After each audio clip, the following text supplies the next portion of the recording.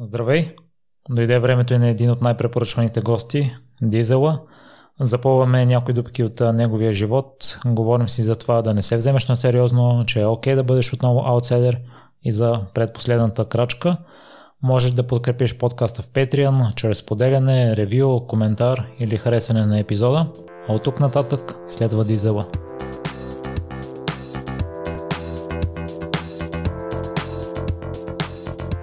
Здравей, Дизел и благодаря много за приятната покана.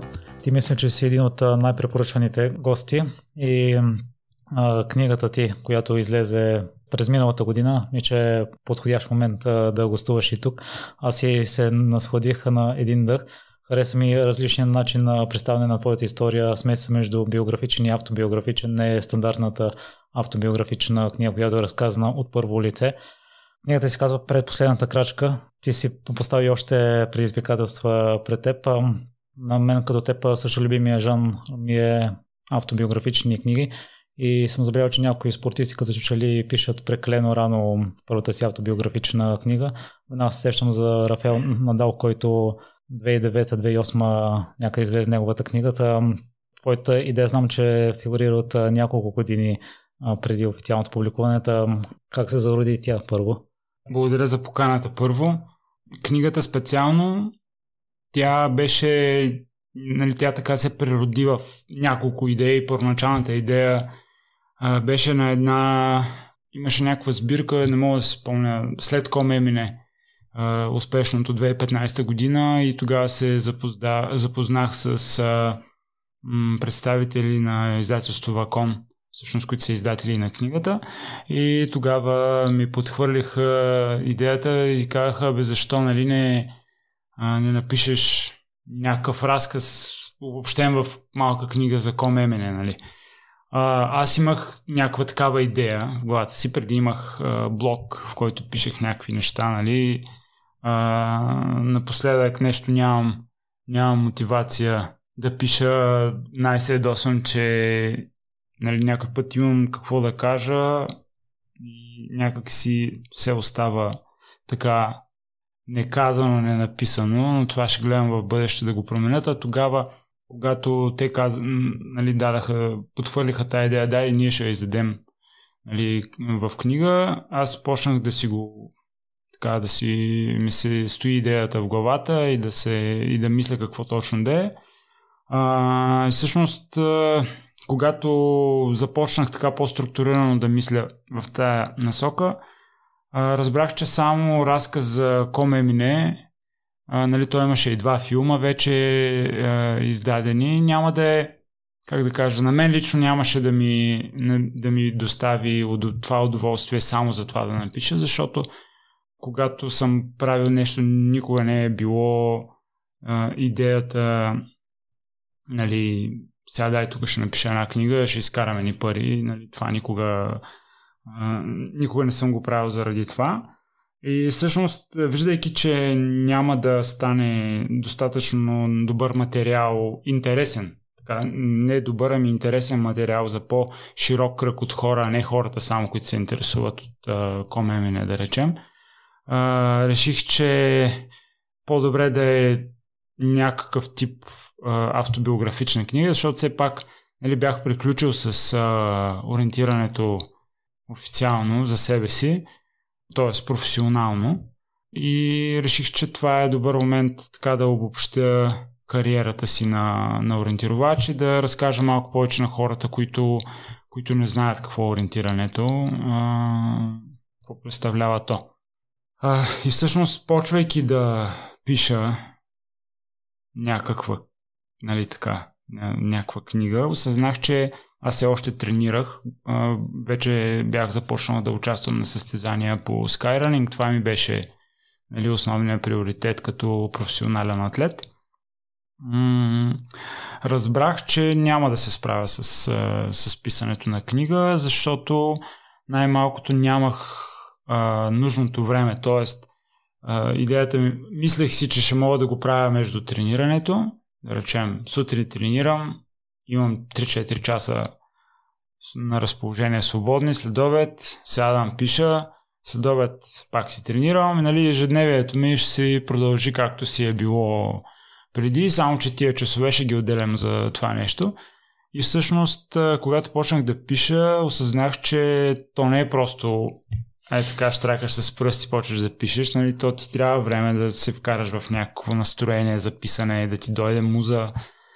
За, защото ако описваш факти, е много лесно. Нали, сядаш и пишеш. Там няма какво да объркаш и няма какво толкова да мислиш. Обаче, когато искаш да кажеш нещо, т.е. чрез написаното да изразиш някакви чувства, емоции, къде, кога, как съм се чувствал, осъзнах, че то ще изиска много по-специално време и всъщност реших тогава да потърся помощта на, на друг човек, който да ми помогне за написването на, на фактите. И така се, а, се свързахме с а, Георги Филипов, който а, всъщност помогна за написването на книгата и който е нали, и съавтор на, на нея.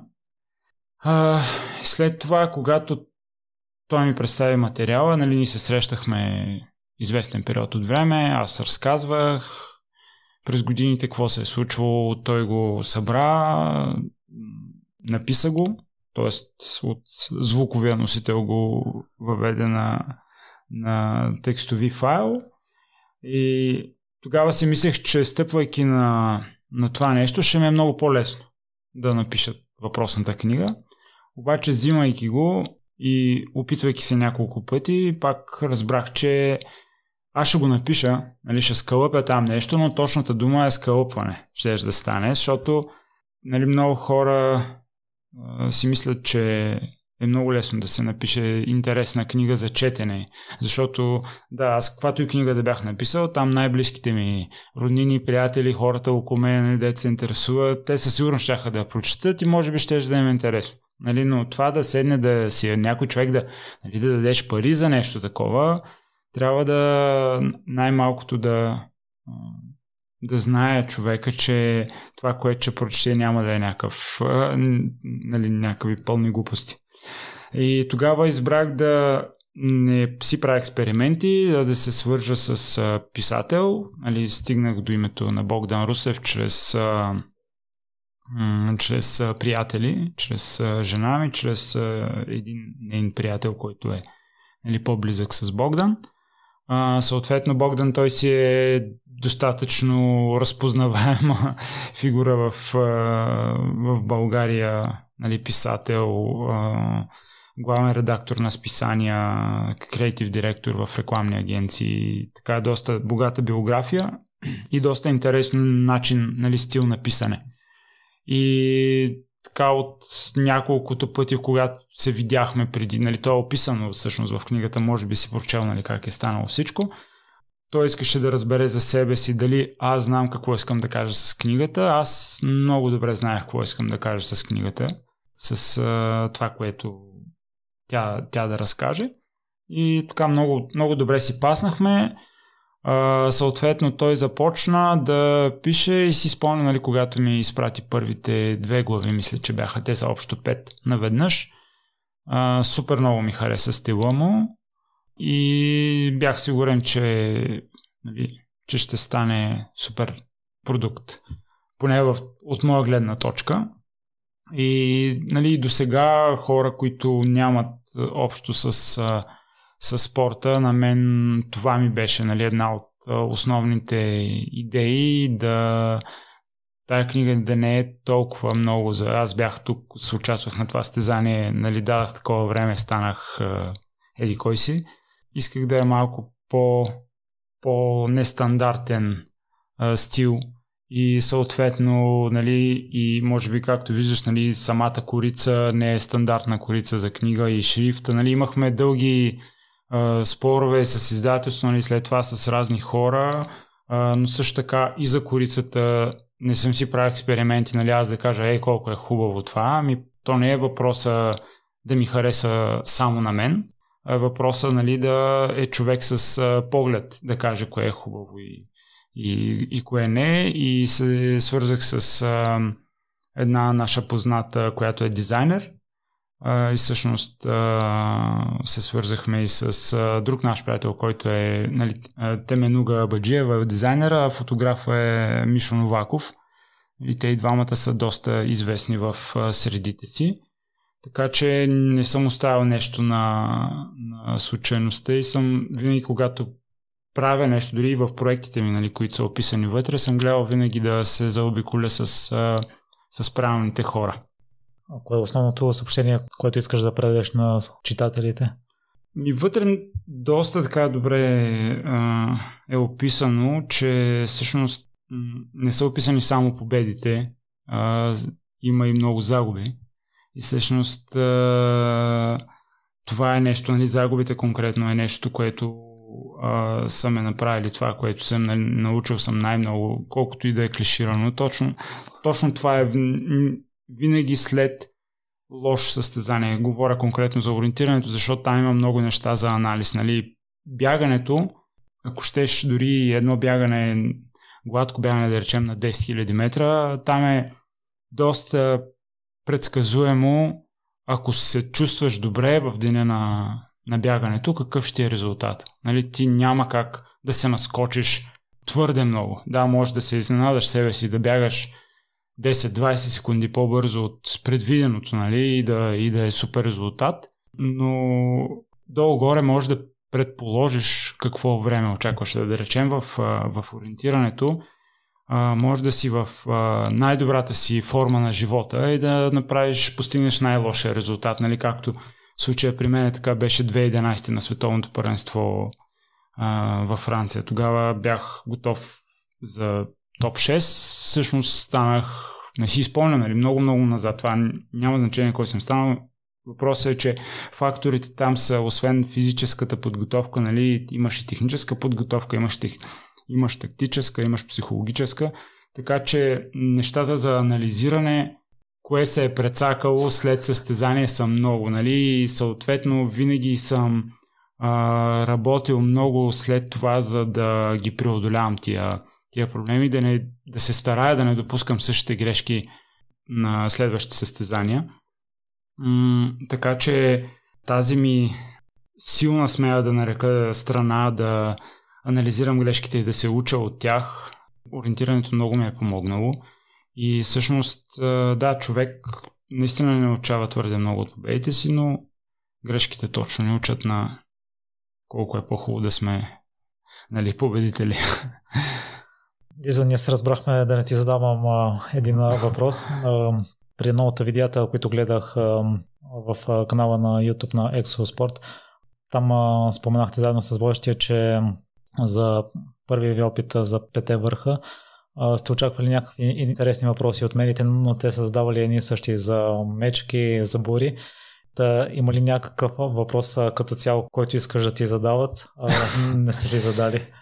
Еми не, аз като цяло искам м- журналистите а, да са малко по-подготвени и да дълбаят по-надълбоко, а не така да размахват листата на повърхността, нали, да, това, което се вижда само. Защото то ме е ясно, че в най-вероятно в 5-минутно интервю или в 10-минутно интервю няма как да, няма как да извадиш тия неща, но а, сега имал съм въпроси от журналисти по Коме Мине как беше на чудните мостове. Мисля, че чудните мостове имаше преди да, точно така, чудните мостове. И аз седа и, и то беше живо предаване. И, и нали, сега се чуда как да отговоря така, че хем да не злепоставя водещия, че първо географски не е запознат къде е едното, къде е другото. Второ, да не го злепоставя, че изобщо не се е подготвил за, нали, за интервюто с, с мен. Но то, аз напоследък спрях да гледам телевизия тук от една-две години. Разбрах, че то това е модел. Нали, и както в а, спорта няма, може би, достатъчно примери в България и критериите не са високи, така и в журналистиката, така е абсолютно навсякъде. Нали? То си върви там, то се случва, те си взимат интервюта, хората си ходят и някак си даже аз и заради това преди няколко години ограничих телевизиите, които хода, след това ограничих предаванията, в които хода, а, нали, няколко предавания, където с водещите сме се виждали много пъти и съответно знам, че аудиторията на това предаване е подходяща и те вече ме познават и могат да задават а, нали, правилните въпроси и наистина да стигаме до същността на това, което, за което съм там, а не просто да ми задават всеки път въпроса прякора ти, примерно, откъде идва или видя ли мечка или нещо, нещо от сорта. Аз в случая ще защитам медиите, защото аз а, имам това време и желание да се подготвям детално за гости и да изгледам а, всяко тяхно участие. Не, не казвам, че нали, не, винаги има изключение. Това е хубаво. Но масата е сега, нали, примери мога да ти давам до утре. Изключенията са за жалост малко. Да, но като има няколко госта на ден, на мен ми отнема няколко часа да, да поручва и да се подготвя за живота на гостите, пък те трудно намират това време и основната част от зрителите, предполагам, те също не са запознати с теб и така запознават аудиторията си с основните детайли за теб. Да, аз, аз не отричам медията. Просто искам да са по-взискателни към това, което правят. Да са още по-големи професионалисти от това, което показват, че са. Така че надявам се тия думи да не звучат те са градивна критика. Нали? Те не са... те, те са нещо, към което се надявам да се стремят.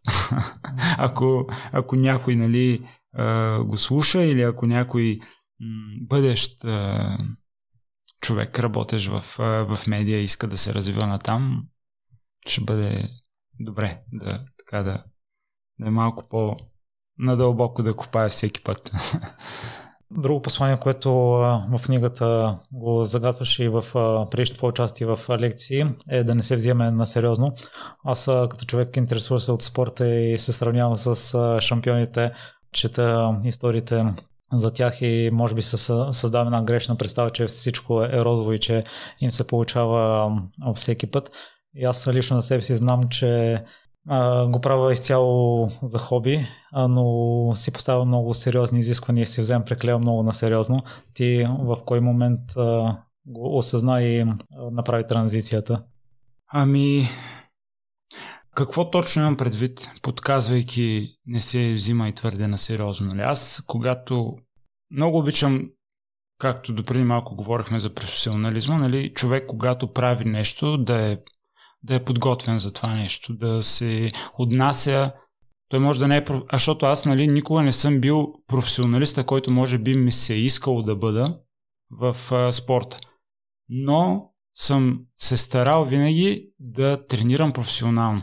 И когато съм го казвал това нещо, не съм имал предвид. Да, когато, а, когато тренираш, когато тренираш, прави го супер професионално, нали? бъди супер стриктен, а, следвай нещата, в които си убеден, които треньора ти казва, нали? обаче извън това някакси а, в един момент осъзнах, че пак за себе си го казвам, че тази прекомерната престиснатост, така да нарека, нали, или а, сериозност в кавички, тя а, в дългосрочен план ме е изиграла всеки път лош шега, като нещо м- пренавитост.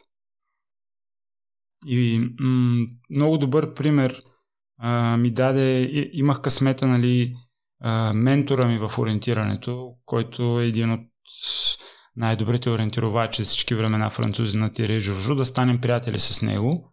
А, след това тренирахме и състезавахме за един отбор в финландския Калеван Расти. И всъщност това е част от неговата философия, нали, която, която той а, изповядва и това съм го видял от него, не само чул, нали, защото съм го и видял. Но когато 2010 имаше европейско първенство в България и за мен беше супер важно да се представя на ниво, нали? Вече бях постигнал някакви резултати, имаше някакви очаквания. Народна земя е това в ориентирането е много голям плюс, защото нали, ако е бягане, това трасе, нали, ако е стадион, стадиона си е стадион. Ако е някакво трасе, да речем, ти винаги може да направиш много близко до това трасе, в която и да е планина, подобно трасе. Като знаеш денивилация, наклон, Нали, аз много често съм си моделирал така състезанията на Витоша, да речем, за които знам, че се готвя по, за някъде за Алпите или за където и да било друго. Обаче в ориентирането а, районите по региони, да речем както са тук Балканите, както е Централна Европа, както е Скандинавието, те са супер различни и си имат своята специфика. Има си специфика картографа как чертая картата. Всеки има собствен стил. Нали, не винаги, ако пуснеш на един и същи район пет различни картографа, те ще направят, да, скелето ще е едно и също. Нали, то няма как да е друго, защото релефа си е релеф. Той, не, той няма как да направиш върха да не е връх. но те по, начин, по различен начин всеки ще ти представи детайлите на, на този район върху тази карта. Това също има много голямо значение. Картографите нали, са българи. Ние с цял живот съм тренирал и съм състезавал в България. Тоест има много неща, които ти помагат на тебе. Времето, какво е лятото, нали, точно този период. Да речем, скандинавците им е много трудно, когато е много горещо. Примерно, нали, някакви такива детайли, които аз много така се бях станал сериозен за това европейско първенство. А, и още тогава, нали, аз си работех с, с Наталия, а, но тогава и си позволих да така, въпросния французен Тиери да го попитам за някакви съвети, нали, какво да тренирам, как да правя, как да се справя с, с психическото натоварване, което имам, защото а, той мисля, че от всички тога, от нашето поколение тогава, това го знаеше най-добре, защото той беше първия не скандинавец, който почна да доминира на целия свят. А до тогава такова нещо няма. Изведнъж се появява един французин и на световното първенство в, в Швеция, да речем, в меката на ориентирането, той убива всички с супер много време на скандинавски терен което нали, до тогава не беше виждано и се повтори и на следващата година и се повтори на по-по следващата година и така нали, неговът имаше повече от 10 години, той беше на върха и то by far. И всъщност разменяхме си нали, имейли, той ми даваше някакви съвети, не толкова как да тренирам физически, а как да се технически, нали, чисто за ориентирането и за психичното напрежение, което, което щях да имам преди старт. И така 5-6 имейла се разменихме и накрая последния имейл завърши с Кирил, нали, да знаеш, не се взима и твърде на сериозно, защото след 5 години никой няма знае нито кой е Тиери Журжу, нито кой е Кирил Ников. То наистина е така, нали? Аз съм сигурен, че да, сега все още някакви хора а, ме разпознават, но изведнъж човека и, и благодарение на социални мрежи, нали, живота малко се попромени. Съм сигурен, че ако се покриеш за едно известно време, наистина след 5 години никой няма да знае нито кой си, нито какъв си, така че а, не това е най-важното. Нали, важното е да ти да си удовлетворен. От, а не това какво ще се кажат другите или ако а, те какви очаквания имат към тебе. И лесно ли направи транзицията? Ами не, не е лесно. Не е лесно. То се...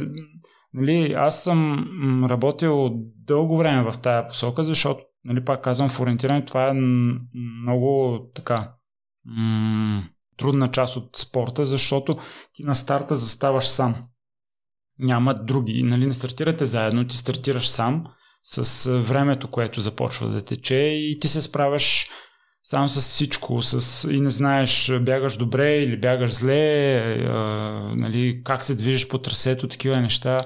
А, и всъщност дълги години съм се учил, аз и приключих, може би не научил се изцяло да изкарвам максимум от себе си, нали, без да имам преки дразнители.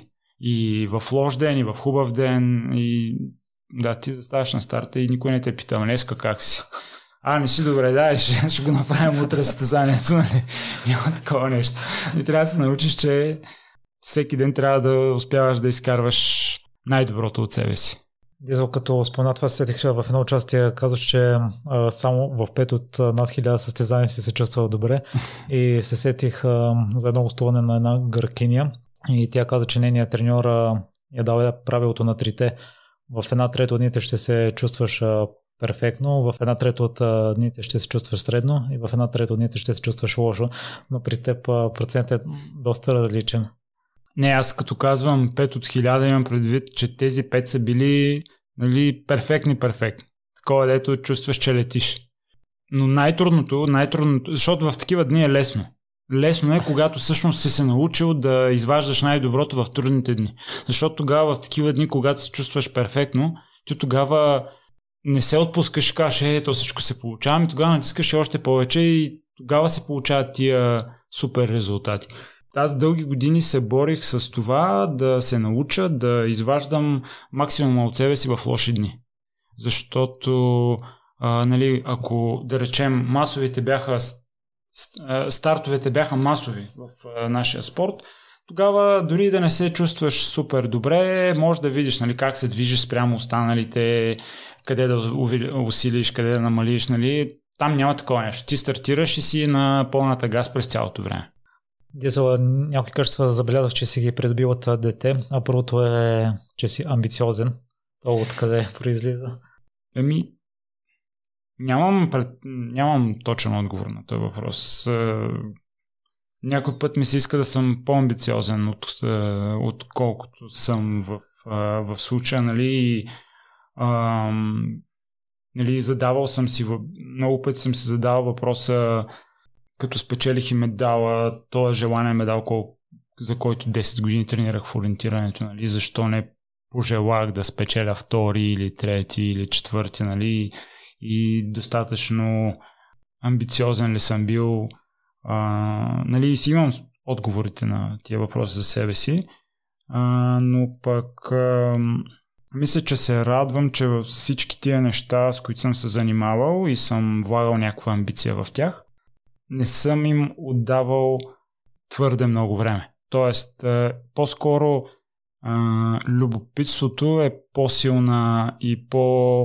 някакси за мен значима черта, отколкото амбициозността, защото а, не всичко е на всяка цена. Особено след едно време осъзнах, че да, много е готино да постигаш резултати, било то в, нали, в всеки един аспект на живота, но а, не всичко е на всяка цена. Защото в един момент тази амбициозност чисто психически не действа добре.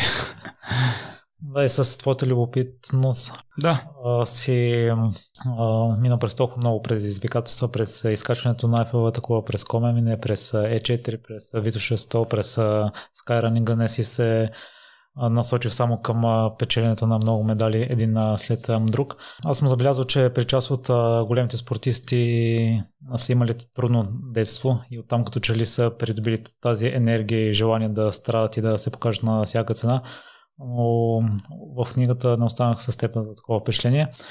Има общо между дядовците ни, бабите ни, а на мен ми казват, а, като ходя да бягам, а, внимай да не се измориш. да... Е, аз мисля, че няма възраст. Еди, може би не, че няма. Много малко от възрастните хора имат ясна представа ние какво правим като им да бягаме, нали, и си дават и отговор на това. Нали. За тях това е нещо, просто не е част от тяхната, не е било никога част от тяхната култура. Те няма как да ни разберат, те няма как да знаят защо. Нали. Аз дълги години, когато нали, се изнесах от Сливен, а, далеч от баба ми, когато сме се виждали, и тя всеки път ме задаваше въпроса, ти още ли бягаш, защо бягаш, ма какво учиш, какво ще работиш, някакви такива въпроси. И аз, нали, аз нямам отговор на тия въпроси, какво ще работя. И там съм замазал нещо положението, колкото да сменим темата. И няма смисъл да се задълбавам, да обяснявам на човек, който никога няма да ме разбере а, нали, конкретно набавяме се. Ако трябва да го обяснявам на някой по-млад човек, може би бих успял. Ама ми, не, трудно детство не мисля, че съм не мисля, че съм. Не, не сме били заможни хора, не сме били богато семейство, но а, нашите са се старали да не ни да не ни липсва нищо. Тоест, а, има предвид, че да не ни показват, че нещо ни липсва възпитали се, ме смятам, точно в това трудолюбие, което нали, от едно нещо се трансформира в друго.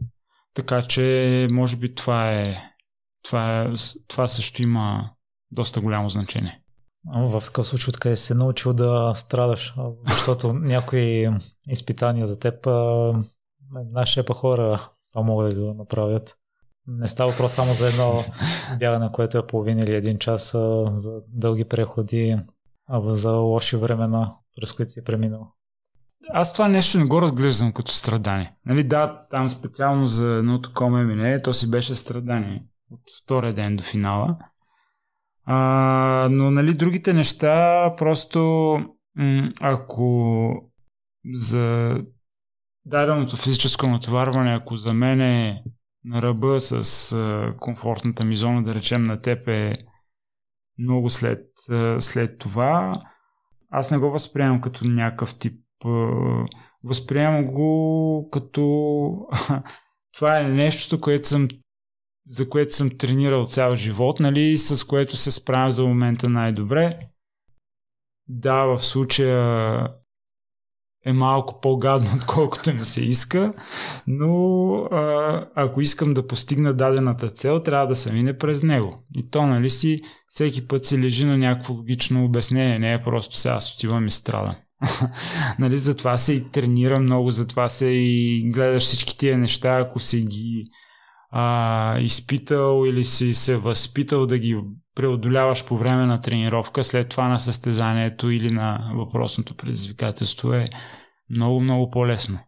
И те не всеки път нещата са така, както изглеждат отстрани. Веднъж ме впечатлиха също в книгата, когато си отишъл да се запишеш в отбора по ориентиране. В книгата е написано, че си отишъл на преклено късен възраст, в която можеш да пробиеш. Ами да, действителност много малко са такива примери на хора започнали да се занимават с... Аз, аз лично не знам за, нали, за такъв пример. Човек започнал на такава възраст и а, пробил в световния елит. А, но това нещо а, и за, за в бъдеще, според мен, все по-трудно ще се случва, защото обикновено спорта, без значение кой е той, ти се за... Нали, много голямо значение има родителите те, в каква посока те насочат, нали, особено те ако са спортисти.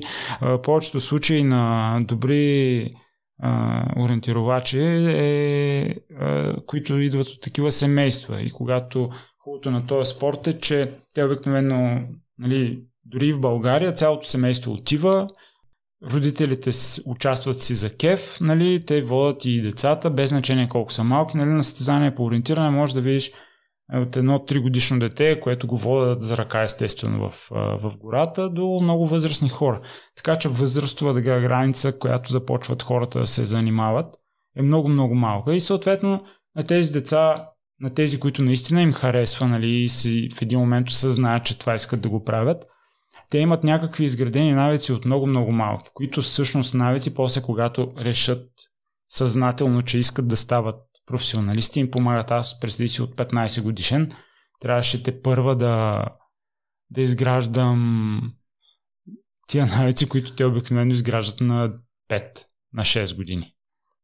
Така че, а, но факт е, че ето живия пример, нали, че а, става и така. Може би, ако бях почнал по-рано, а, много по-бързо щях да достигна до желания резултат, който постигнах на 30 и тогава може би щях да имам повече такива резултати, но това може би, нали, случая няма никога как да разберем. Аз съм много доволен за пътя, който съм извървял, нали, за нищо не бих сменил ориентирането. Тогава, даже и докато се занимавах с ориентиране, аз винаги съм участвал на, тук в България главно, на някакви състезания по планински бягания, по лека атлетика, нали, крос-кантри. Да, винаги е било фън и забавно да правиш нещо различно, да срещнеш а, други хора, да смениш малко обстановката, но някакси това, което ориентирането ми е давало, не съм го получавал от нищо друго и заради това може би не съм го сменил с нищо друго. Предполагам, че това е причината, която на 18 годишна възраст само ти си останал в отбора. Ами, тогава си бяха доста трудни времена. Нали, то като цяло нямаше м- в който и да е спорт много хора, които, които да, да тренират професионално, освен в спортовете, нали, които традиционно си е имал пари. В такива по а, малки нишове спортове, нали, това някой да остане, да, да вярва, че може нещо да постигне, да се бори, нали, особено в индивидуален спорт, какъвто е ориентирането, нали, то няма много. И бе, беше си трудно. Беше си трудно. Това е основната причина, според мен. Сега причината е друга. Нали, да, да няма. На какво даваш това, че няма достатъчно интерес към ориентирането? Ти споделяш, че ориентирането може би единствения спорт, в който се състезаваш заедно с най-добрите на състезанията.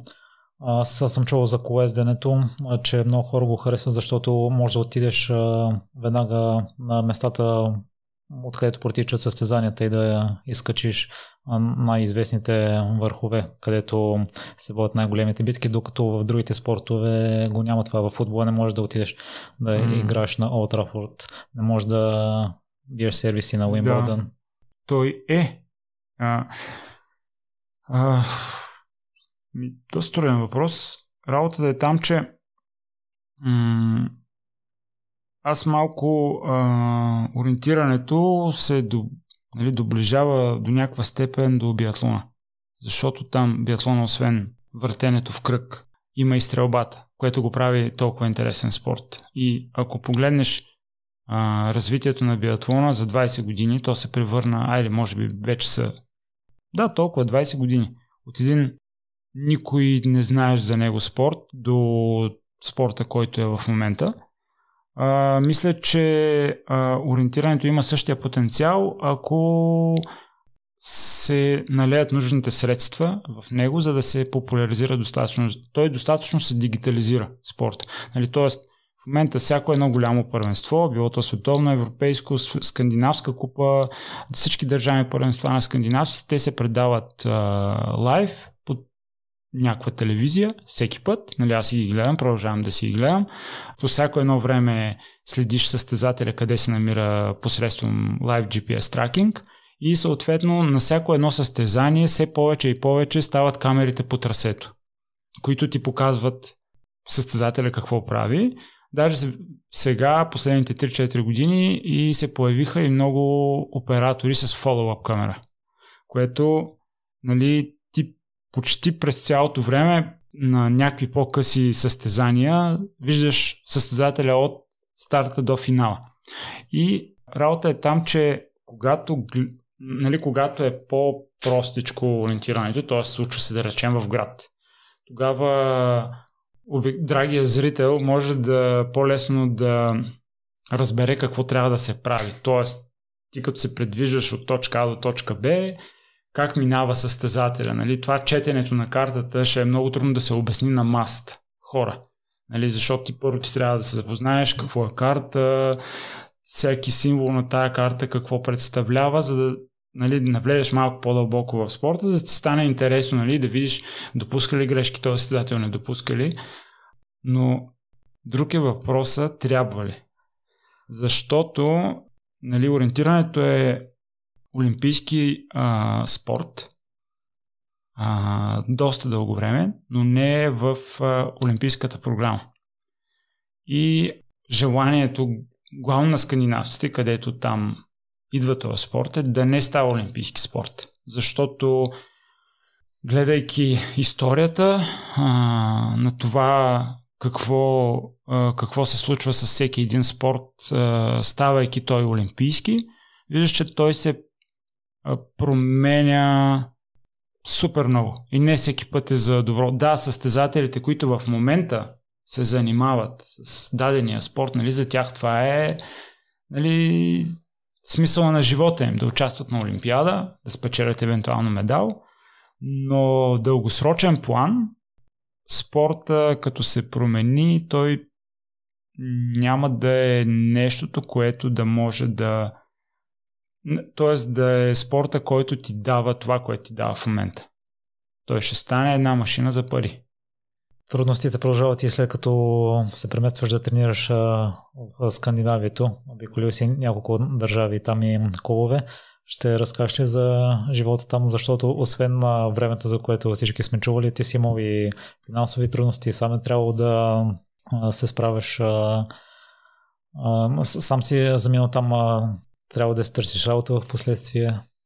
Ами, аз имах късмет, мога да кажа, и, нали, да, имал съм някакви, всеки човек има някакви трудности, при мен сравнително лесно са се случвали нещата. Може би една от причините е, че като цяло позитивно гледам на а, позитивно гледам на тия неща и винаги когато нещо се случва, гледам да, да не си казвам, е, сега пък това, що на мене се случи, нали, и бати късмета ми. Окей, нали, това е трудност, през която трябва да се мине и надявам се тази трудност да ми, нали, да ме научи на нещо и съответно да извлека ползите. Но в, всъщност в, в Скандинавието беше много яко. На мен много ми хареса а, живота там. Не е моя живот. Нали? Най-вероятно и заради това съм се върнал в България. А, но пък а, специално за спорта е единственото място нали, за нашия спорт, за ориентирането, е единственото място в света, където ти си част от нещо толкова голямо. Защото там във всеки един град има поне по един отбор. С, примерно, моя първи, първи отбор, поради някаква случайност, беше най-големия отбор като членска маса в, в Швеция, Сторатуна. Той имаше 2000 а, члена. Нали, аз не съм виждал всичките 2000 души, но през годината на някакви състезания тия хора някъде участват. Нали, съответно, най-големите състезания в света, нужното а, внимание от а, спонсори, от медии, т.е. там преди 3 години на техните 10 най-добри спортисти на Швеция за отбор беше шведския национален отбор по футбол или шведския национален отбор за мъже а, по ориентиране, които станаха световни шампиони. И съответно избраха световните шампиони по ориентиране. Нали, в а, такива държави наистина е кеф да се занимаваш с този спорт. Нали, Швейцария е другата такава държава, където тя най-добрата ориентировачка всички времена. Тя не се състезава от близо 10 на години. Симона Нигли Лудер, тя е била 5-6 пъти спортист на Швейцария. Заедно там имат мъже и жени. Нали, с Роджер Федерер е ставала няколко пъти спортист на, на Швейцария, даже веднъж на едно световно първенство, което беше в Япония. Тя става 4 пъти световна шампионка, защото имаме 4 дисциплини на едно световно първенство. Нали, то е както в скибягането, както в биатлона и състезателите тогава все още не бяха профилирани само за тази дисциплина, само всеки участваше на всичко общо взето. И когато се връща и каца на летището, там нали, пътният транспорт е толкова добре развит, че повечето хора нямат автомобили и ползват железопътен транспорт. Президента на, на Швейцария и урежда специален влак, който нали, е украсен по специален начин за, за един вид благодарност за това, което тя, тя е направила. И с този влак нали, не е било нужно да прекача еди колко си влака, за да се стигне до тях, директно се е прибрал. Смисъл така, че в тия държави е много голямо удоволствие да, да се занимаваш с, с този спорт, защото нали, освен, че хората оценят какво правиш, има много голяма маса от хора, които се занимават, които всъщност а, допринасят за развитието на, на спорта. Живеят с него, нали, както, както има държави, където да речем една Испания или една Англия, където тия запалянковци футболните ги имат, и това го има също за ориентирането в Скандинавието. И да, ти ме пита, и там и в, и в и, също така един много интересен случай, когато а, за участвах в а, за първи път за финландския ми отбор на шведската Тилмила, една от най-големите щафети в света и станахме не, това беше на второто ми участие, както де, и станахме примерно трети или не първи, ами втори или трети. И аз оставам в, в Стокхолм, защото ще си пътувам там два дена по-късно за България и съм с, заедно с въпросния французин Тиери, който, който също живее до Стокхолм. И отиваме на тренировка, съответно след тренировката се прибираме, минаваме през някакъв магазин, нещо да си пазарувахме и ня, нали, хора ни срещат и му казват, е, нали, не станахте първи, станахте а, трети. После да ми кажете, сега ако си живеех във Франция, никой нямаше да знае какво е станало, как е станало, само занимават с глупостите си. и така. Най-големия скок ти правиш в ориентирането, когато сменяш отбор, където конкуренцията вече е много висока. освен това, какво друго промени, че доведе до такова рязко израстване. Става въпрос между 2008 и 2009, защото освен теб, ти кажеш, че и другите се развивали, не са стояли те на едно място. В то, във всяко едно нещо, с което човек се занимава и той се развива и стига някакво ниво. И когато стигнеш някакво ниво, вече съответно въпроса според мен е следващия, който трябва да се зададеш е аз окей ли съм с това ниво, което съм стигнал или искам да мина на следващото ниво. И съответно аз дълги години, които се състезавах там в, а, за този шведския си отбор, бях достигнал до някакво ниво, имах вече някакви резултати, съответно имах международни резултати, от които аз не бях удовлетворен. И си казах, окей, нали, или това е нивото, на което аз мога да съм, или може да стане по-добре. Единствен начин за да разбера дали може да стане по-добре е да промена нещо, защото явно а, нали, статуквото то е някакъв някакви навици, които ти повтаряш постоянно и съответно не се развиваш. А, и съответно реших тогава да, че за да излеза от този комфорт, в който се намирах, а, трябва нещо да промена и съответно да отида в отбор, който има много по-висока конкуренция, където ще ми е трудно да съм в първия отбор и в първата штафета. И дори да не успея да бъда в тая първа щафета или в този първи отбор, със сигурност аз ще науча нещо ново, което се надявах да ме развие. И а, нали, ориентирането, той сега продължава да е така, той няма тая финансовата изгода или поне и именно за много малко хора, т.е. много малко хора в света успяват да са пълни професионалисти с ориентирането. И съответно аз си бях нещо като менеджер, вече позна... нали, хората ме познаваха, знаеха кой съм, на какво договор съм способен и ми беше по-лесно да отида при някой друг отбор и да кажа, ей, аз искам да дойда да тренирам за вашия отбор, нали, да състезавам за вашия отбор, това възможно ли е? И съответно писах до няколко отбора а, с на треньорите, нали, с които се познавах, защото там на тия обикновено най-силните отбори, те са няколко света, техните треньори обикновено са национални треньори на, както тогава на, на норвежкия отбор, треньор беше национал, националният треньор на Дания на Финландия на този отбор беше все още състезател, нали? но след това го познавах, съответно на другия норвежки най-добър, много добър отбор, пак треньора беше някакъв а, а, известен треньор, но нали? те не са и много кадрите, които, които могат да бъдат треньори на такива, на такива отбори, съответно имах някаква лична, личен контакт с тях. И писах, два от тях ми отказаха, единия обаче а, така се съгласи, каза окей, заповядай, ние сме тук, много ще се радваме да си с нас.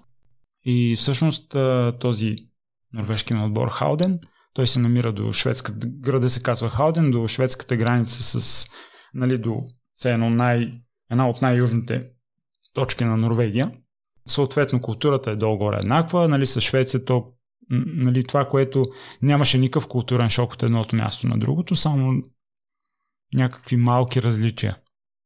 И съответно, началото си беше така м- леко стресиращо, защото все пак а, отидах в един малко по-късен етап на пролета и до това най-голямото състезание очак... оставаше един месец. Нали? За този един месец нямаше как да пропусна нито една организирана тренировка или да не отида на едно състезание, на което треньора ми каже, въпреки че то не ми е по план или не ми се вписва точно в програмата, ти ставаш се едно начинаещ. Нали? Изпълняваш. Няма аз съм еди кой си, сега не става. Не, ти си, какво ти кажат, това правиш. И съответно пък, когато не го възприемеш като нещо лошо, а като нещо, което те развива, това, което можеш да направиш, само да спечелиш. И в моя случай така стана. Аз бях пак исках да научавам нови неща. Исках нали, на всяка една тренировка да идват всички, защото там наистина имаше няколко световни европейски шампиона на всяка една тренировка, които а, си ме убиваха от бой. И аз всеки път се доближавах все повече до тях, все повече до тях, все повече до тях и то някак си естествено стана. Наистина скока за няколко месеца беше голям, колкото все едно, ако бях продължил със същото темпо няколко години. Нали. Хубавата част основата имах и знаех много от... А, всъщност, ориентирането, както всеки един друг спорт, това са навици, които навици ти трябва стрикно да се придържаш към тях, т.е. правила. Знаеш, че правейки това, следва това, правейки това, следва това. И всеки път, когато а, не си достатъчно добър и експериментираш нещо ново, то може да се обърка. Нали, практикувайки го достатъчно много, то вече почва да се получава, тогава вече можеш да импровизираш а, и да си така по, по-гъвкав, но е много важно правилата да ги научиш много добре. И а, въпреки те в началото да те ти костват повече време за изпълненията им, е много важно да ги следваш. И когато вече те ти станат не ти станат нещо, за което трябва да мислиш, ще се превърнат в някакъв нещо подсъзнателно, става много лесно. И аз след това съм участвал на много състезания, където нали, ти винаги отиваш на непознат район, никога не знаеш къде те се ти намират точките, нали, не е като трасе, което е маркирано и трябва да обиколиш. И аз съм участвал на много състезания, където съм бил 100% сигурен, че аз сега ще избягам, ще направя, може да не е перфектно, но близко до перфектното състезание. Така е стало. Нали, толкова уверен накрая бях в, в себе си. Но мисля, че подхода от не толкова добър отбор към така по-добър и още по-добър, тая естествена градация, която се получи, нали, която не съм, я, не съм се стремил към нея, ми помогна също. Но и това, че не се притеснявах да бъда отново аутсайдер, да бъда the underdog, нали, тия неща никога не са ме притеснявали и даже са ми харесвали. Защото наистина тогава, тогава развитието, което постигаш, го виждаш за много по-кратко време. И си кажеш, те нещата се случват, нали, получават се.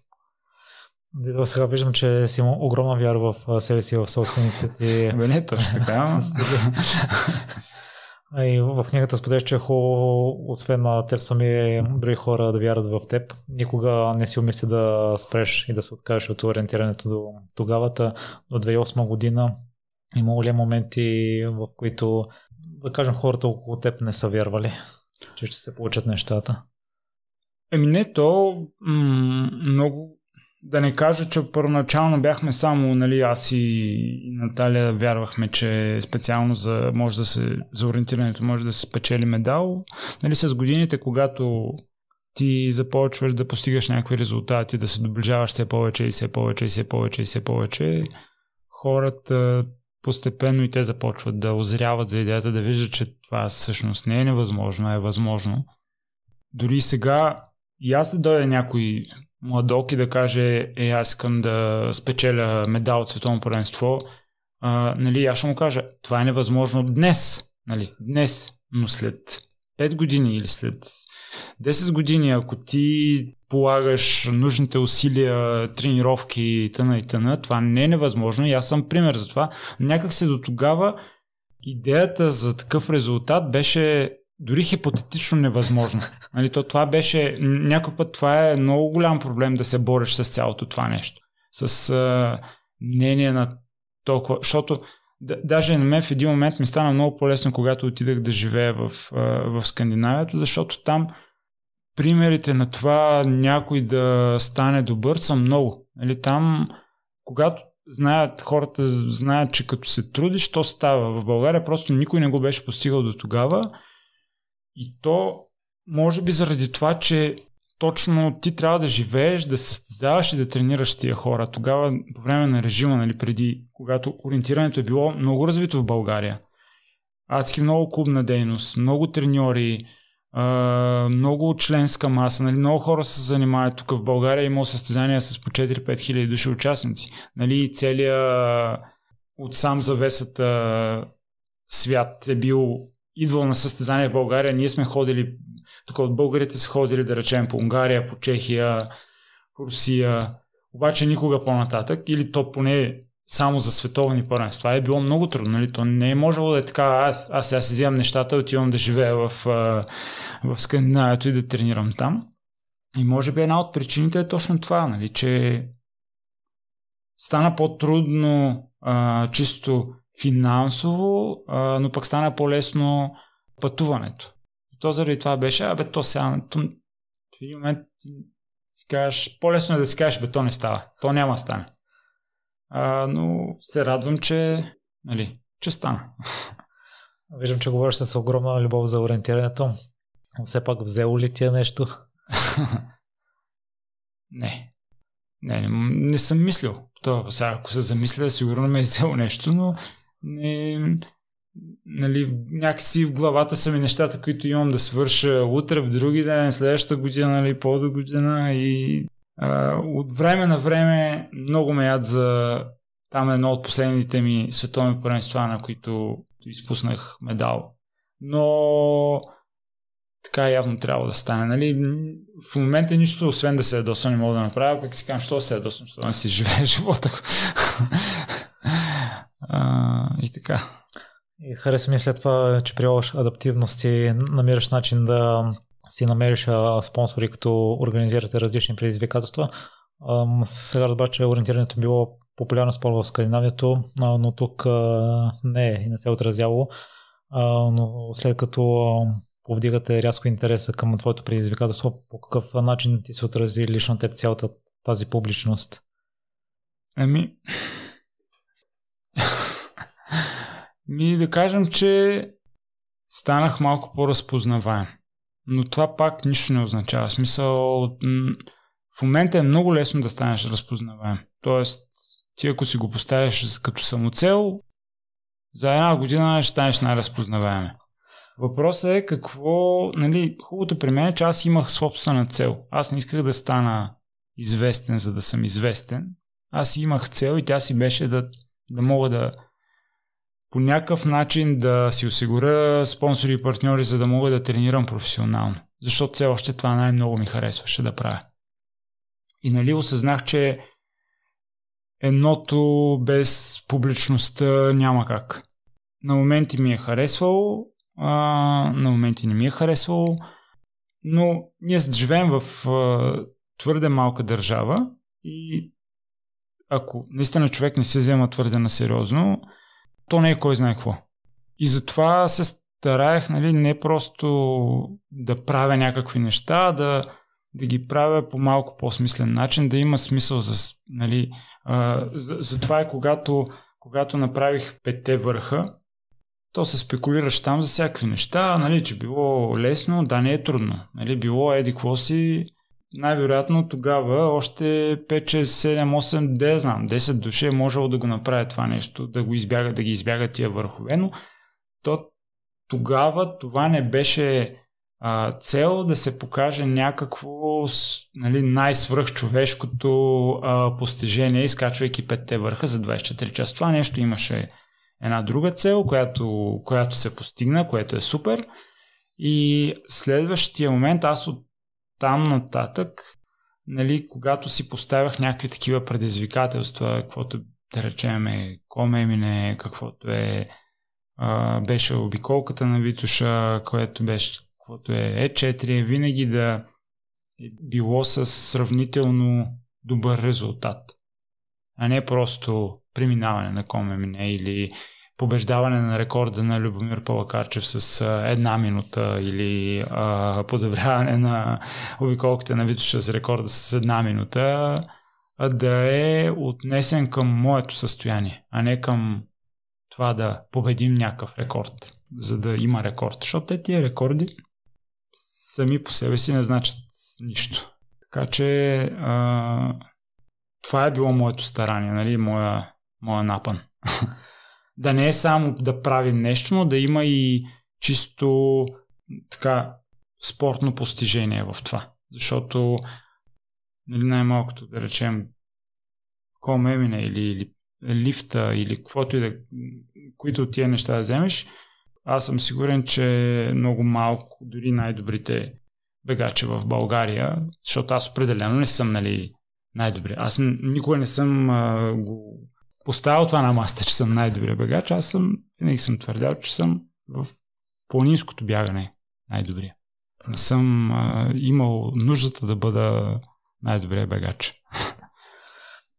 Дизела, защо след като е станало ясно, че няма да подобриш първия път рекорда на Комемине, отрано си започнал да страдаш. Естествено, винаги има възможността да се върне следващата година и да пробваш пак. Си продължил да натискаш въпреки всички предизвикателства тогава. Мен беше вече третия ден на Комемине беше ясно, че нали, това с рекорда, с преминаването стана някакво... То беше много на моменти така. Ту се чувствах добре, ту много зле. Нали? В един момент бях окей, продължавам. След два часа бях, не, не мога повече. Нали? Някак си... Това нещо си беше предизвикателство в истинския смисъл на думата. Аз не бях подготвен за Комемине, защото аз никога не съм бил ултрамаратонец, нали, ултрабегач. И наистина подложих тялото си на някакво за себе си е, свръхчовешко натоварване и съответно тялото ми като не е подготвено за нещо подобно, то реагира, нали, и ти казва, ей, ти трябва да спреш, нали, обаче в един момент разума ти казва, не, ти можеш, то пак ти казва след два часа ти трябва да спреш, разума ти казва, нали, можеш и някак си така чисто психологична игра и в един момент просто се зададах въпроса, нали, въпреки, че все пак не забравяй, че аз тогава имах и нали, така, със себе си увлякахме много хора, които ни помагаха, които бяха там за, за идеята. Нали? И сега някак си, защото ме е заболял крака, а, нали, аз не мога да обясна колко ме е заболял крака. На третия ден да им кажа на всички, бе, много хубаво, май ходете си, защото аз тук нали, вече не мога. А, не беше твърде сериозно. И затова от един момент нататък аз наистина а, го правих не заради себе си, а заради целият екип, който беше там, защото ние в крайна сметка отиваме като екип, правим нещо като екип. Аз никога не съм казал, че сам съм избягал Коме защото аз сам човек не може да го избяга за такова време. Нали, сам човек може да си сложи раничката на гърба с там, каквото му е нужно и да тръгне, да речем, за 10 дни, бягайки за 15, за 20 дни, ходейки но сам човек да го направи за това време е невъзможно, защото на теб ти трябва хора, които да ти помагат, нали, които да се грижат за ти като отидеш на даденото място да, да се нахраниш, ти като отидеш на дадено място да легнеш и да спиш. Така че ако някой нали, твърди, че може да го направи сам, аз мисля, че не, не се е родил още този човек. А, така че а, заради това така, и продължавах, и продължавах, и продължавах, но в, то в един момент просто а, освен тая физическата болка, нали, която имах, времето се толкова много се влуши. Те бяха хиляди работи. Тогава първия път, общо взето, беше много интересно. Но пък това след, веднага на, на другия ден след първия път а, бях убеден, че на следващата година ще го направя, ще го направя. В смисъл, че ще стане защото стигайки почти до морето с всички тия перипети, през които аз преминах а, за това време, което щеше да е може би около 2 часа по-бавно от тогавашния рекорд на Любомир Палкачев, т.е. 5 дена и 16 часа щеше да е. Аз бях убеден, че Комемине може да се избяга спокойно за под 5 дни. Когато беше идеята. Вярно ли е, че след края на първото преминаване на въпросния ден е бил един от най-щастливите ни в живота? Еми беше то. Нямаше да трябва да се мъча там, да бягам, да ме бурли вятъра и слънцето, така че беше супер. Станах, Отидахме до морето, видяхме го там си беше нали, предния ден, както беше някаква тотално лятната буря, която аз и до момента не съм виждал такава буря лятото, нали? И на другия ден беше все едно никога не е имало не, нещо такова. Беше много лудо. Вече на следващата година успявате да слезете за под 5 дни. Аз филма го изгледах два пъти. Някакси не усетих да има някакъв критичен момент. Действително си имало ли е такъв? Не, супер критичен момент не е имало. Единствено, нали, а, с така, с а, Димитър и с Наталя на моменти бяхме на различни мнения кога точно трябва да почивам и кога не трябва да почивам. И последната вечер, всъщност, а, нали, точно тия м- противоречия, кога, как, защо, нали, в крайна сметка аз а, избрах да направя това, което аз си бях наумил. И сега другия въпрос е, че режисьорите и сценаристите на филма решиха, че все пак трябва да има нещо, за което а, нали, филма да е малко по-така интересен, да има някакъв а, съспенс в него, а, който надявам се си усетил нали, този момент точно тая последната вечер. Мисля, че това беше най- така момента, в който аз бях сигурен, че малко време ми трябва, ще стане ще продължа, нали всичко ще бъде наред до финала. И той така стана. Имаше една изненада, защото аз още на Лакатник, което е само 40 км преди старта, след старта, а, започнах да усещам една болка в коляното, която беше много идентична на болката от предната година, но на другото коляно. И само такъв си помислих, сега ако това пак се повтори и ако трябва да е някаква агония до края, нали ще е много... Хубавото е, че болката се усили, но не беше някаква твърде непоносима.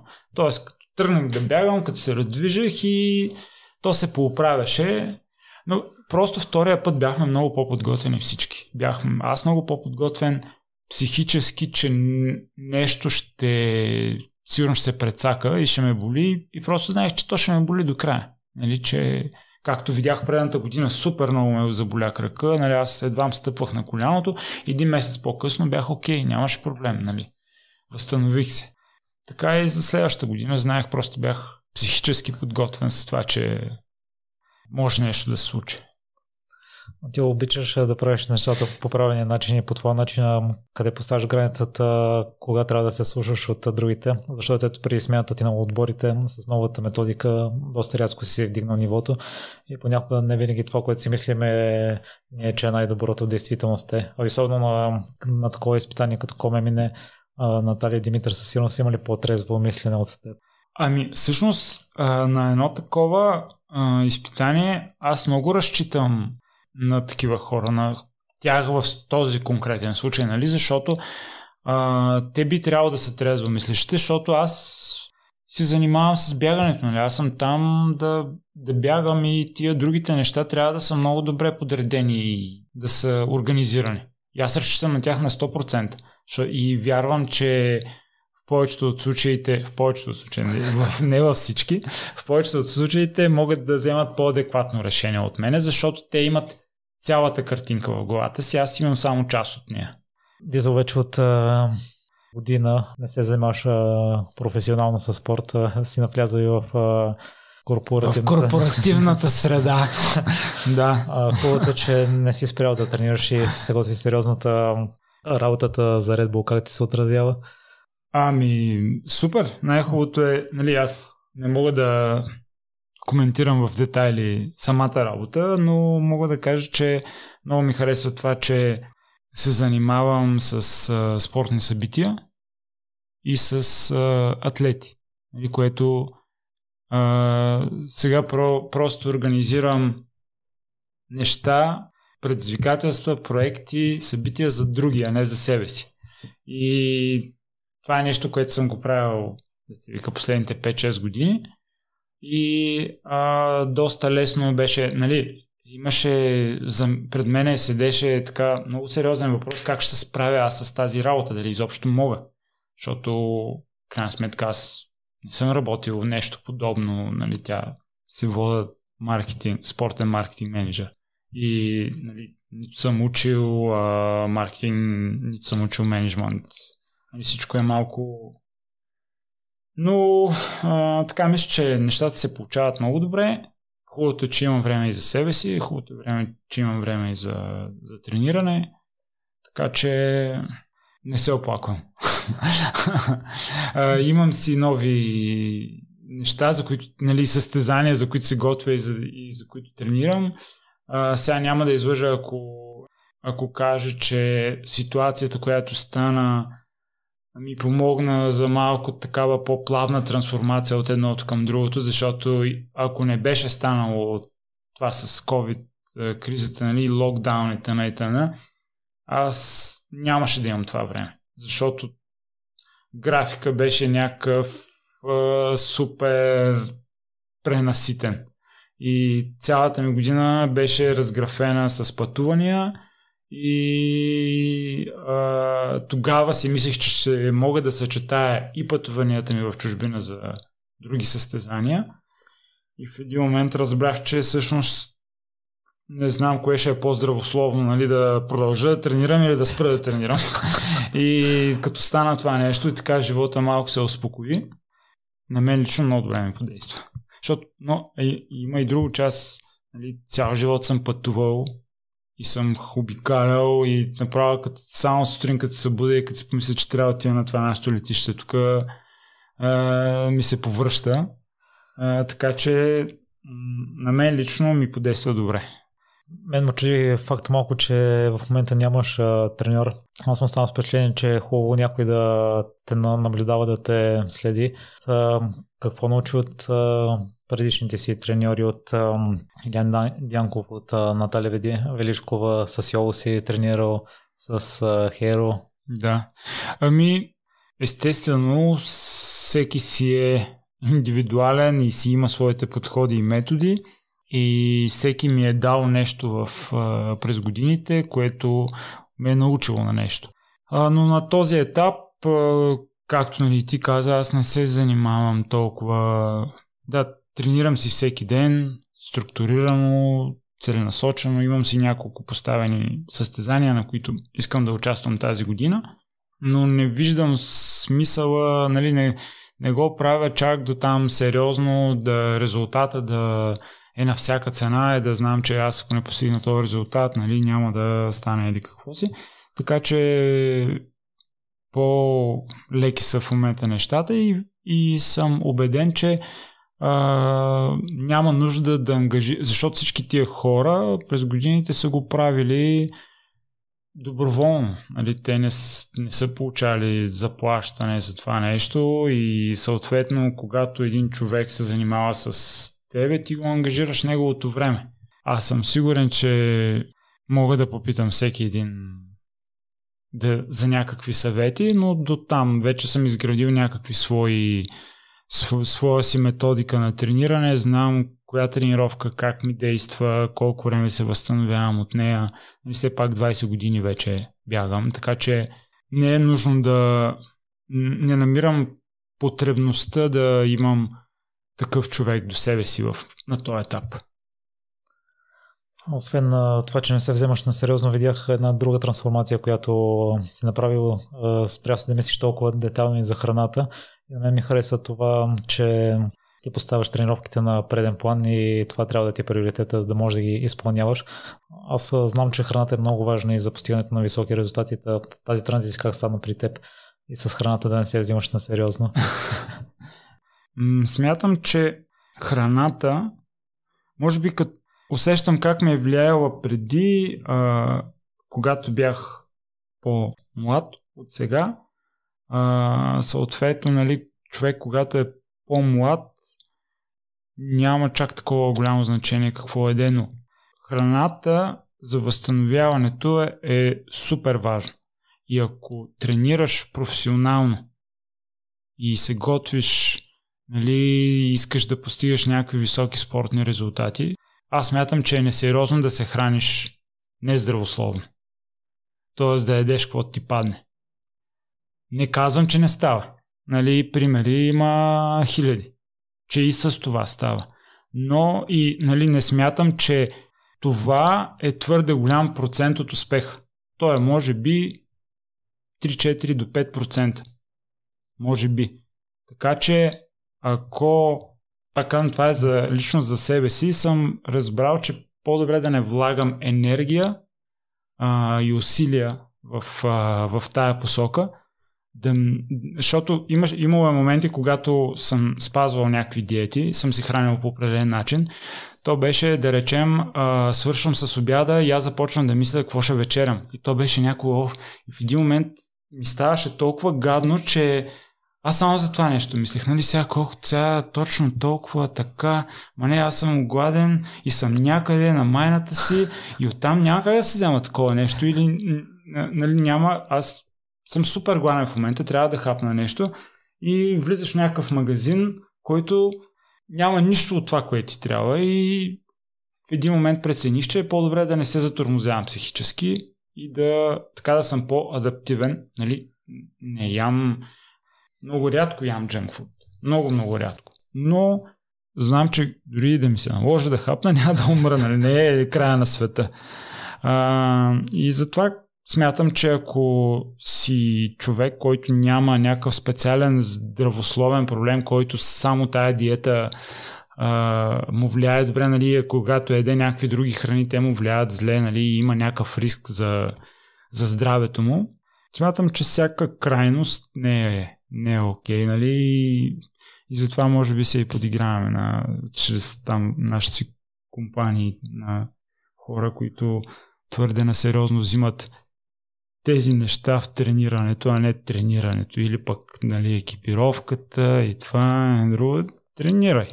Няма проблем, ще стане.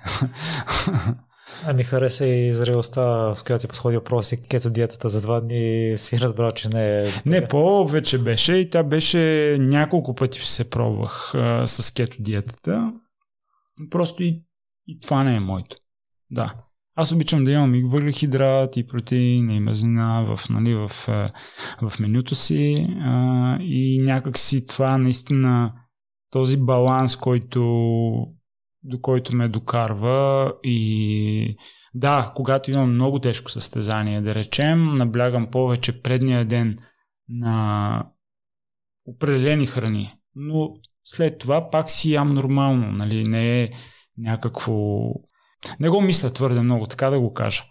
Като, а, като има, като заведението отида някъде, да речем, на някой скайрани, като съм бил, аз не мога да си помъкна за 5 дена нещо. Нали? То най-вероятно може, но не искам да си помъкна нещо, с което да, да си задоволявам тия нужди. Като има пица, ще ям пица. Като има паста, ще ям паста. Нали? Като има... И общо взето, то е най-готино, че ти сядаш на една маса с всички останали, които нали, на другия ден са първи, втори, трети, четвърти, пети, шести, десети и всичките сте на едни условия и виждаш, че не това е решаващото. Нали? Не е с какво си се навечерял или с какво си ял предния ден. Друго нещо, може би те разбирам, но аз не съм стигнал на твоите години все още. При мен желанието е прекалено голямо. И при теб съм сигурен, но казваш, че нямаш мотивация вече да ходиш на лагери на Бел Мекен. Защо се получава така? Защото може би твърде много съм ходил по такива лагери учебнически. Аз спрях да имам нуждата от такива лагери, когато всъщност спрях професионално с ориентиране. Защото след, след това аз съм човек, който обичам да научавам нови места, да посещавам нови места, да бягам по нови трасета. Нали? Това е нещо, което ми го е давало ориентирането. И сега в един момент а, аз да тренирам не за ориентиране за планинско бягане, имам толкова много планини около София. И аз отида някъде на, нали, на лагер, да седа дълго време там и да някак си взел съм си го.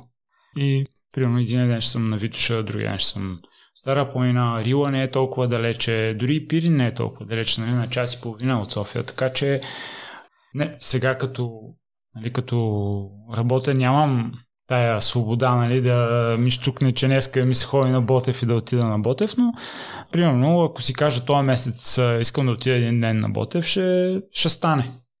Просто няма стане веднага.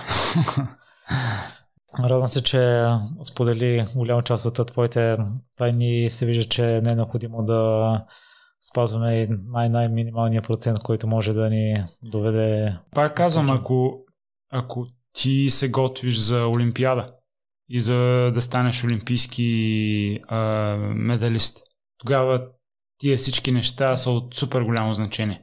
Как тренираш, с какво тренираш, как се възстановяваш, колко спиш, какво едеш. Нали? Всичко това има огромно значение и защото там а, половин процент прави разлика. Прави раз, нали, разликата между медала и четвърто място.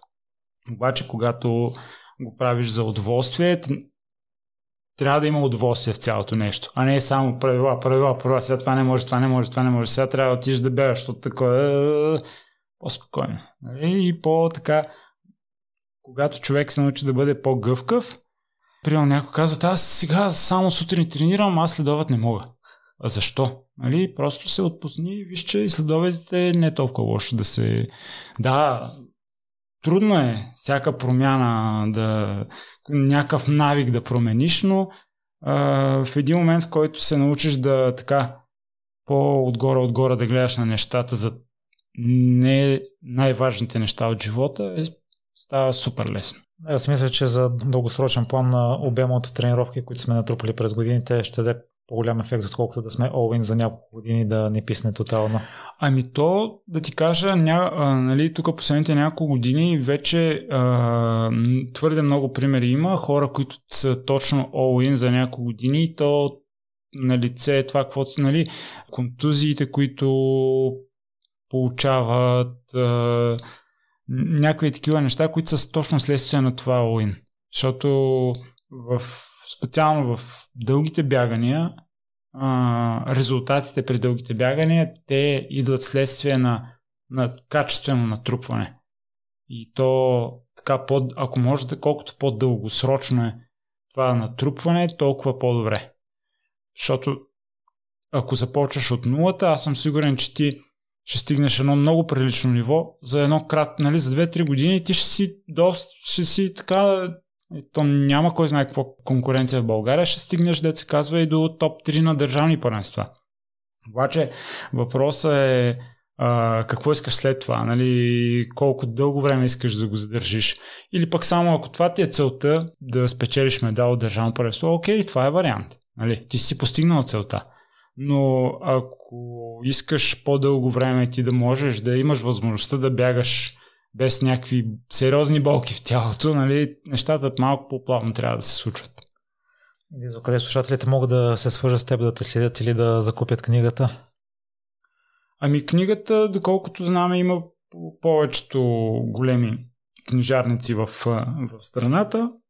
Аз съм а, така, качвам периодично неща на Facebook страницата си и на Instagram профила си. Нещо напоследък съм позанемарил Facebook профила си и там много рядко качвам нещо. В Instagram по-често, но гледам да не качвам лични неща в твърде лични неща в социалните си мрежи, защото съзнах, че това си го искам да си е само за мен, отколкото нали, не съм не съм достигнал това ниво и мисля, че никой няма да го стигна къде да споделям всяко едно нещо с, с всички хора. В какво си се провалял? А в какво ли не? Е само в неща, в които не съм опитвал, не съм се провалял. Въпросът е как го приемаш след това, нали, какво се случва след това, след провала. Така че аз съм имал провал в абсолютно всяко нещо. И най-лошото е, вече споменава в началото на разговора, че се учиш от тях. А, с какво се гордееш най-много? Не съм се замислял. С какво се гордея най-много? Някой път много хубаво ми става, когато някой човек ми каже, е, нали, аз ти следя и заради тебе съм започнал да бягам. И сега последно разбрах за един човек от Чумен, който а, съм бил такова вдъхновение, че е свалил там 30-40 кг и бяга в момента, нали, и съм... Това ме радва, не мога да кажа, че е някаква нали, супер гордост, просто тия неща ме кефят. Радват ме, когато си поставям някакви цели и, и, и постигам. Така че това е май отговора на въпроса ти. Аз ти пожелавам и за бъдеще да ги постигаш и всяка следваща винаги да е предпоследната крачка. Ами то е така, да. Благодаря ти. И аз.